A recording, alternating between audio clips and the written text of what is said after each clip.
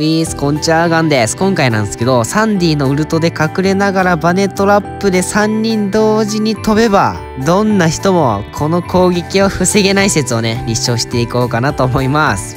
まあ、基本的に3人で飛ぶってことは、シェリーかペニーが来たら基本的に終わりなんですけど、まあ、いなかったと。いや、マジでありがたいですね、これは。まず、こっからウルトを貯めるのが大事なんですけど、OK! はい、溜まっていく。ここで、まず、あの、相手にね、エメラルドを持たせてあげたいと。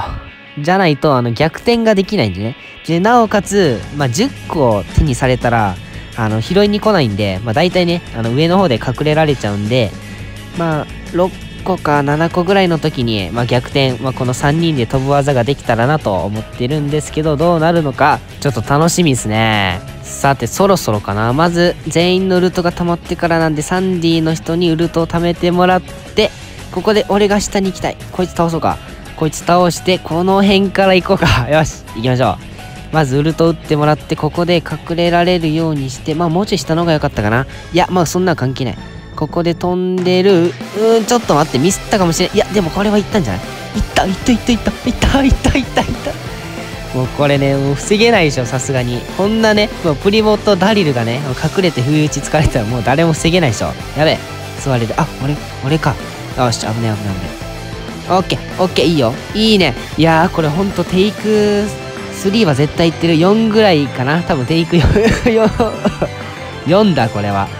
長かった。本当に長かったこれいやでもねなんかちょっと失敗してるんでもっと完璧なバージョンを撮りたいという欲望もあるんですけどいやーまあ気が向いたらね、まあ、やろうかなと思いますはい気が向いてしまいました ちょっとねキャラを変更してフランケンでね行こうと思うんですけどまずねあのプリモだとウルト溜まる前に試合が終わってしまうとあの、ここのプリもね、ちょっとどうしてもリコとかに対処されちゃうんで、まあ、使えないなと。まあ、あとフランケンだと3人止めた時の心地よさ、まあ、あれをちょっとね、忘れられない。もう禁断症状出てるんでね、ちょっとあれをやっていこうかなと。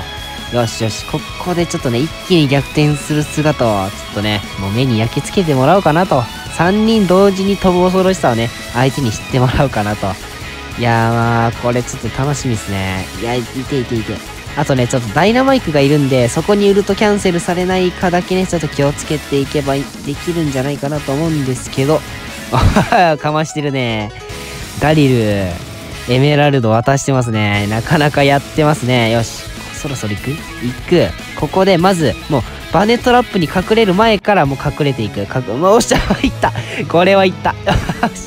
よしよしよし。ダリル。ダリル、あんたの仕事は、そいつを倒すこと。よし、頑張れ。やばい、死ぬな。マジで、生きて、生きてくれ。よし。挟む、挟む、ナイスダリル。そこまで計算していたのか、これは。いや、まさかこのダリル優秀すぎでしょ、うちのクラメン。いや、本当におもろい企画だな、これ。いやー、ちょ、待って、ちょ、危ないな、これ。待って、やべえ、べやべやべべべべ、大丈夫？大丈夫か？大丈夫じゃない、やばい。ちょっと待って、え、ちょっと待って、組み置き怪しい。大丈夫、え、ちょっと待って、ナイス、ナイス、ナイス。組み置き怪しい。いや、待って、本当に、本当に？大丈夫。あー、オッケーオッケーオッケー。いや、もう、フランケンが持てばもう基本死なないんでね。もうこんなダイナマイクペニー、まあまあ2個もなんですけど、そんな火力出ないんでね、こいつら。いや、まあ、よしよしよしよしよしよし。いや、やっぱね、やりたいことをやろうとする、これを成功させる心地よさで尋常じゃないですね。まあ皆さんもね、まあぜひやってみてください。しんどいっすよ、これ。